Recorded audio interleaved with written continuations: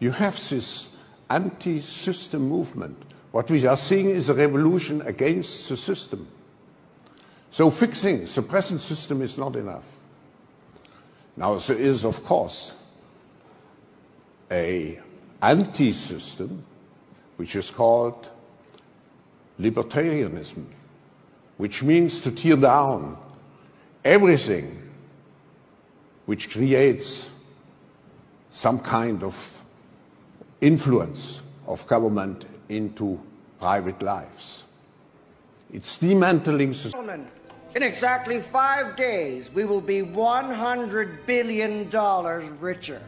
That whole question about trust, eroding trust, hence the theme of the summit this year. Yeah, that's a huge theme, and it comes in four main branches as far as how to try to rebuild trust. And they say that there's not enough trust in institutions, in government, in corporations, etc. The biggest risk uh, we face is that we lose hope and that we lose trust.